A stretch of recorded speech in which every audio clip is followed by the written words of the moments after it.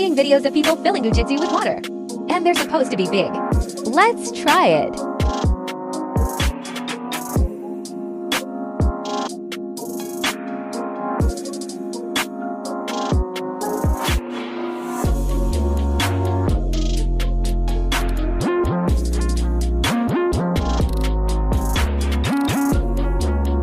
It is so big.